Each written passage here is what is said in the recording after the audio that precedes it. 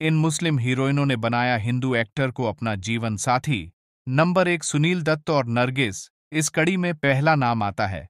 पुराने जमाने की सुपरहिट एक्ट्रेस नरगिस दत्त का। नरगिस का असली नाम फातिमा राशिद था और सुनील दत्त भी फ़िल्मों में नाम बदलकर आए थे।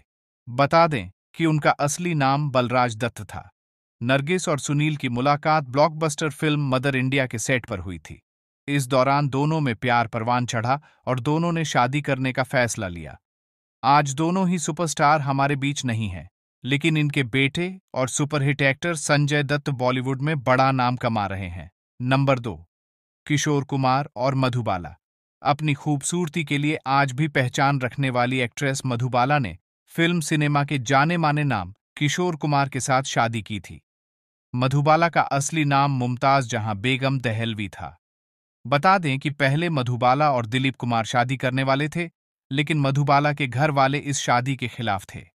इसके बाद मधुबाला ने सिंगर, गीतकार, एक्टर, प्रोड्यूसर के साथ साथ डायरेक्टर रहे, किशोर कुमार से विवाह कर लिया। किशोर कुमार की ये दूसरी शादी थी। किशोर की पहली पत्नी का नाम रूमा गुहा ठाकुर था। बता दें कि किशोर ने मधुबाला की मौत के बाद भी और दो शादी की थी। नंबर तीन सुनील शेट्टी और माना कादरी। फ़िल्म इंडस्ट्री के फिटमैन सुनील शेट्टी ने भी अपना हमसफर, एक मुस्लिम लड़की माना कादरी को चुना। सुनील को माना से पहली ही नज़र में प्यार हो गया था। इसके बाद दोनों ने शादी कर ली। सुनील शेट्टी ने फ़िल्मों में ज़्यादातर सपोर्टिंग रोल ही किए हैं। वहीं, बात करें, माना की तो बिज़नेस के मामले में वह सुनील से भी ज़्यादा कमाती है। बता दें कि सुनील की बेटी आथिया शेट्टी बॉलीवुड में फ़िल्म हीरो से डेब्यू कर चुकी है और अब उनका बेटा अहान भी बॉलीवुड में नज़र आने वाला है।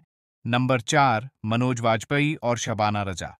बॉलीवुड के मंझे हुए कलाकार मनोज वाजपेयी ने एक्ट्रेस शबाना रजा से शादी की थी। शबाना फ़िल्म करीब में एक्टर बाबी देओल के साथ नज़र आई थी।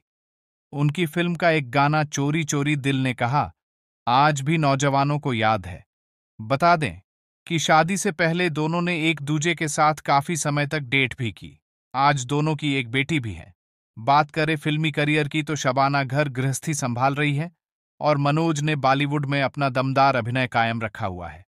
नंबर पाँच, संजय दत्त दिलनवाज। बॉलीवुड के संजू बाबा आज किसी पहचान के मोहताज नहीं हैं। उन्होंने अपने माँ बाप नरगिस और सुनील दत्त की तरह बॉलीवुड में अपनी इमेज कायम रखी है। संजय मान्यता से शादी करने से पहले दो शादी कर चुके थे। संजय ने पहली शादी एक्ट्रेस ऋचा शर्मा से की थी। दोस्तों, इनमें से आपका फेवरेट एक्टर कौन सा है, हमें कमेंट करके बताएँ। धन्यवाद।